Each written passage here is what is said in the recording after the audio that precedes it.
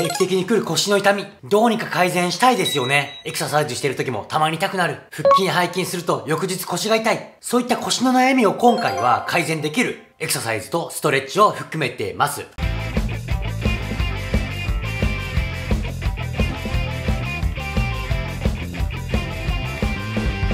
実は私も定期的に腰が痛くなるんです。朝起きたら腰が痛い。咳が出ると腰が痛む。そこで定期的に行っていることがあります。まず原因が3つあります。腸腰筋、長方形筋、脊柱起立筋。この3つの筋肉が腰痛の原因を引き起こします。1つ目の腸腰筋なんですが、これが硬くなってしまうと、反り腰、骨盤の歪みなどを生じて腰が痛くなりやすいです。で、この腸腰筋は3つの筋肉からなるんですが、深層部にあるので、外部からのマッサージではほぐれにくいんです。なので今回のストレッチを一緒にやることでほぐすことができます。2個目の長方形筋というのは、脊柱起立筋を支えている2個の筋肉になるんですが、このバランスが崩れると、右だけ腰が痛いな、左だけ腰が痛いな、っていう風になってしまう筋肉です。ここもしっかり伸ばす必要があります。3つ目、脊柱起立筋は、体のラインを正常に保つ筋肉なので、ここはしっかり鍛えて伸ばすっていうことが必要になってきます。この3つの筋肉を今回は使って伸ばすという5つのエクササイズで解決していきましょう。これを最後まで行うことで、今よりも腰の痛みが軽減されて、もし腰が痛くないよって方もですね、これを行うことで、この先、腰痛に悩まされることがなくなってきますので、痛くない方も一緒にやっていきましょう。この5つはですね、腹直筋のトレーニング、脊柱起立筋のトレーニング、腸腰筋のストレッチ、長方形筋のストレッチ、脊柱起立筋のストレッチ、2つのエクササイズと3つのストレッチをやっていきます。腹直筋は辛いので、最後に行うようにしましょう。はじめの4つをまず行います。スマートフォン見ながらできますんで一緒にしましょう。はい、まずは脊柱起立筋から動かしていきます。スマートフォン顔の前置いてもらってうつ伏せになります。足は自然にしてください。そしたら手を脇の下について、体をぐーっと伸ばしてキープです。それでは行きましょう。あとぐーっと伸ばしてここで5秒止まります。そしたらまた戻っていきます。腰が痛い方はねゆっくり伸ばしてください。ぐーっとゆっくり。もし辛い方は少し手を前に出して伸ばしてみてください。これがね意外とね大事なんです。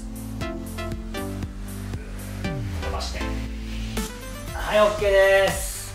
で次にスマートフォン持ったままこんな感じで足をつきましょう。そしたら腸腰筋のストレッチをしていきます。このまま体を前に伸ばしていく感じで伸ばしてる足側の腸腰筋を伸ばしましょう。いきましょう。息をねしっかり吐いてください。体を前に持っていって後ろ足の前を伸ばします。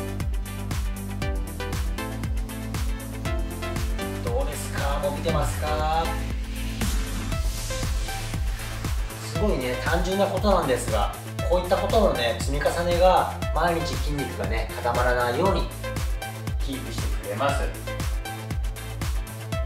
はい反対いきましょう。同じようにいきます。スタート。片っぽだけねなんかすごい伸ばしにくいよって方はねそっち側がやっぱり硬くなってるので両方ね同じぐらい。痛くないっていうふうになるとねしっかり伸ばされてます。自分は左側が痛いな。自分も今日腰がね痛いんでね。OK はい今度は結構片っぽだけね腰が痛い人も多いと思います。そういった方はこの長方形筋のストレッチキャットバックです。きましょう。こういう感じで腰をしっかり丸めていきます。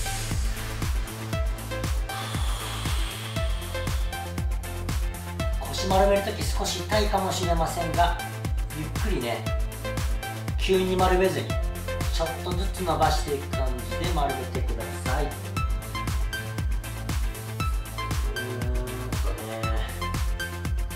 はい OK です。今度は座ったままスマートフォンは横に置いてもらってあぐらを組んで肘で足を押して体を回します。できるだけ体が倒れないようにまっすぐの方がいいです。なのでスマートフォン持っててもいいです。いきましょう。左右30秒ぐーっと。できるだけね体がまっすぐ。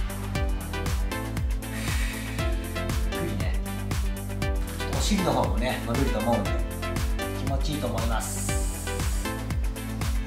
いろんなストレッチがありますがね今回はもう腰痛だけに特化したストレッチになります。体を柔らかくしたいよっていう方にはね向いてないですが。よっしゃ反対です。いきましょう。スタート。体しっかり起こして。トレッチってね意外と簡単だからあんまりやらない場合が多いんですがやっぱりね体が固まってしまうんでしっかりね伸ばしていきましょう。しっかり息吐いて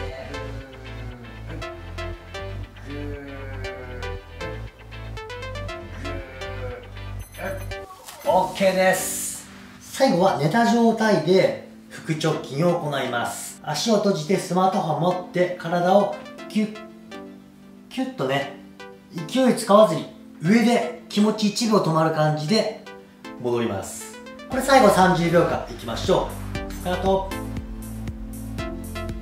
腹筋もね弱ると体のラインが崩れるので腰痛の原因になります。